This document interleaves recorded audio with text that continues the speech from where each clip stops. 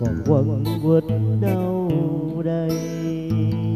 Thì làm sao làm sao anh hỡi người hỡi người tình